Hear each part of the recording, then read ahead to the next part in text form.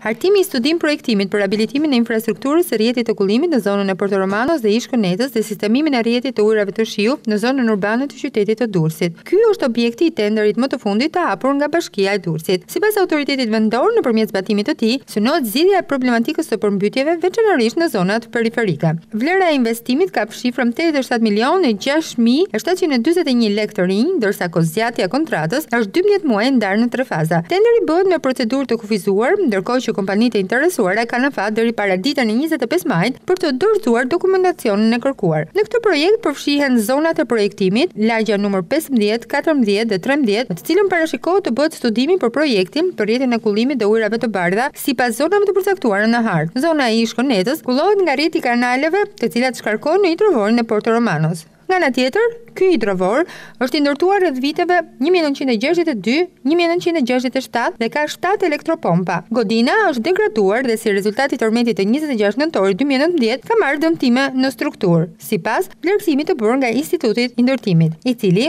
ka depozituar pranë Bashkisë së Durrësit një shkresë me datën njëzet i dhjeti dy mijë e njëzet, ku i kërkon këtij institucioni që të shembë këtë godinë, pasi nuk ka aftësi mbajtëse të përballojë jo vetëm ngarkesa dinamike sizmike, por edhe ato statike. Si pasojë e urbanizimit të zonës së ish-Kënetës, është e nevojshme të bëhet një ndërhyrje e përgjithshme në rrjetin e kullimit, duke iu referuar Planit të Përgjithshëm Urbanistik të Bashkisë Durrës. Ky tender pason atë të studimit të fizibilitetit për menaxhimin e mbetjeve urbane të Durrësit.